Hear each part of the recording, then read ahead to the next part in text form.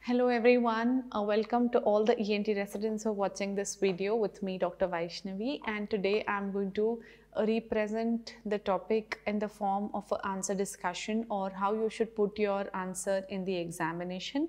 So I will be discussing the topic but in the form of an answer sheet where I shall be giving you the important pointers, the headings that you cannot miss to go to the exam. This is the part one of the video. If you like the part one of the video, do mention in the comment section that you like it and you would want the part two as well.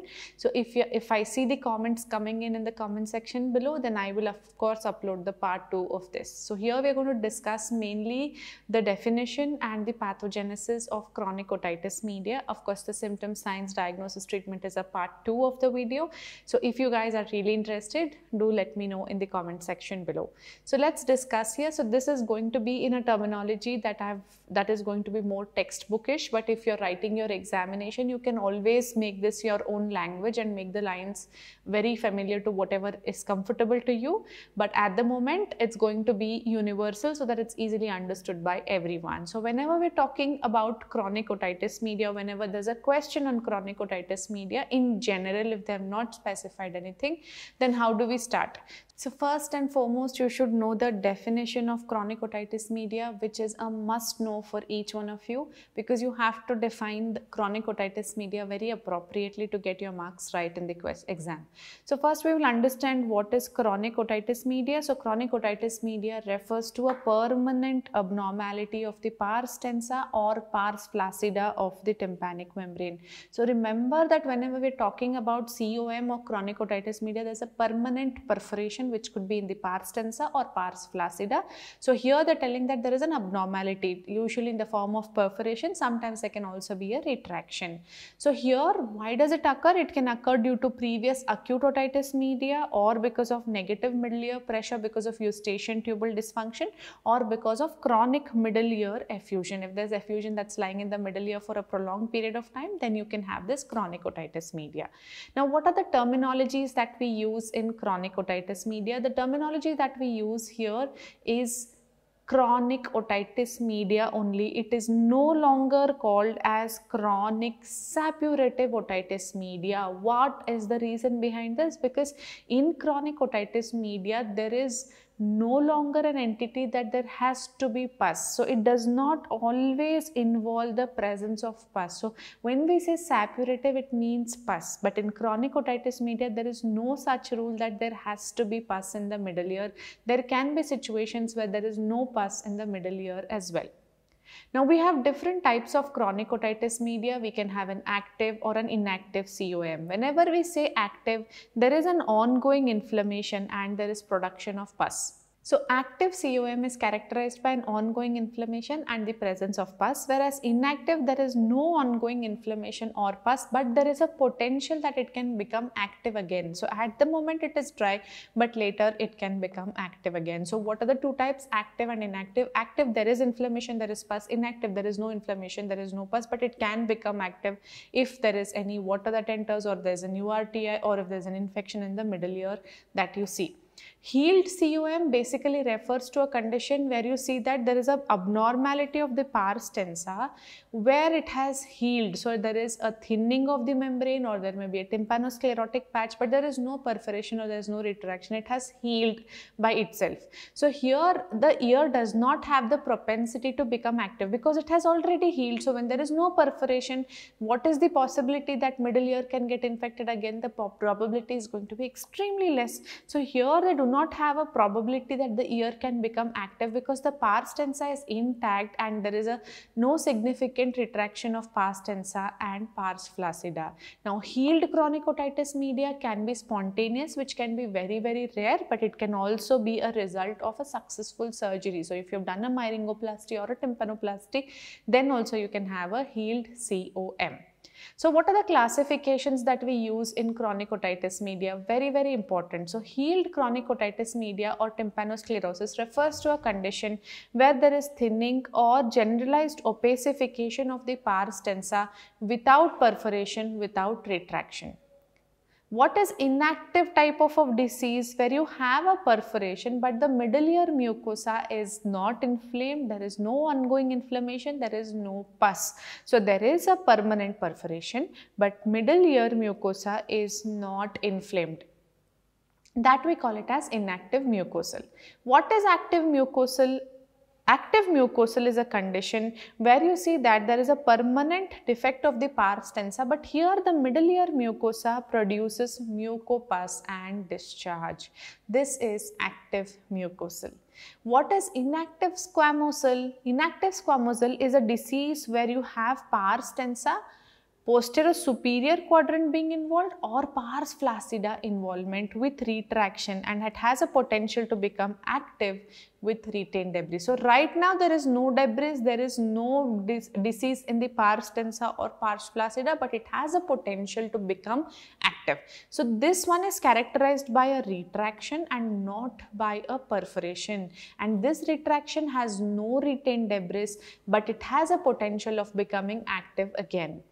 Is active squamosal? Active squamosal is nothing but cholesteatoma where you see there is retraction of the pars flaccida or the posterior superior quadrant of the pars tensa but here they additionally will have some retained debris along with inflammation. So these are the five important classifications that you should know for chronic otitis media. So these are five important classifications that you should know. One is healed. Mucosal disease will usually have a perforation. Inactive will have no pus, active will have pus. Squamous cell disease will usually have retraction. Inactive one will not have any keratin debris, will have will have no inflammation, whereas active one will have keratin debris and active cholesteatoma. So this is the basic guideline that you should know for chronic otitis media. Then there is a newer entity which we call it as eosinophilic otitis media where you see that there is this is a condition which occurs primarily in patients with asthma. So when they have asthma, when they have an hypersensitivity reaction in the airway, they can also have hypersensitivity reaction in the middle ear type 1 type and this can result in eosinophilic otitis media where these patients have typically Th2 dominant immune response. So it's a Th2 mediated immune response. So how do we how do we understand that uh, eosinophilic otitis media is occurring in the middle ear? So basically what happens is there is a patulous eustachian tube and this eustachian tubes allows the antigenic material which is there in the nose or the nasopharynx to enter into the middle ear and as a result this leads to eosinophilic inflammatory exudate in the middle ear. And the key cytokine that is responsible for causing this eosinophilic otitis media is going to be your interleukin 5. So there is an antigen that is present in the nose. This antigen gains its entry into the middle ear via patulous eustachian tube. There it causes antigenic stimulus and produces inflammation. It is a Th2 mediated response. Interleukin 5 is responsible for causing this and they will have some clinical features which I am going to describe. So they will have a simple perforation but they will have thick yellow effusion coming from the middle ear. They will have proliferation of the granulation tissue extending into the external auditory canal which is often difficult to manage because this is secondary to an immune response. So whenever we have allergy, whenever we have asthma, whenever we have polyposis, it's a very difficult condition to manage. So similarly, eosinophilic otitis media is difficult to manage. Infective conditions are still easy to treat because you treat the infection, treat the inflammation, it will resolve. But here it is because of an allergic response, so it's very difficult to manage.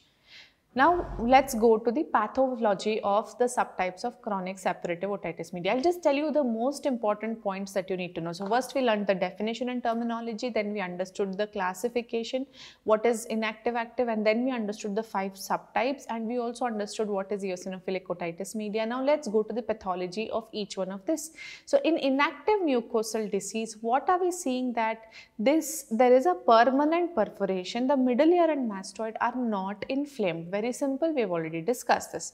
What is active mucosal? There is a perforation but there is otorrhea, meaning there is a discharge that's coming from the middle ear. So they have varying degree of edema, varying degree of inflammation because the mucosa of the middle ear and mastoid is inflamed and because of this inflammation you will see that there is lymphocytes plasma cells histiocytes that accumulate in the exudate of the middle ear. And there is granulation tissue that can occur. And this granulation tissue if it proliferates it can also result in aural polyps which can protrude out through the tympanic membrane and if there is a chronic inflammation of the entire middle ear cleft, which means that eustachian tube, middle ear, attic, aditus, antrum and all the mastoid air cells, if there is a chronic inflammation of the middle ear cleft, it is important that you resolve the inflammation of the entire system only then your perforation repair will become successful.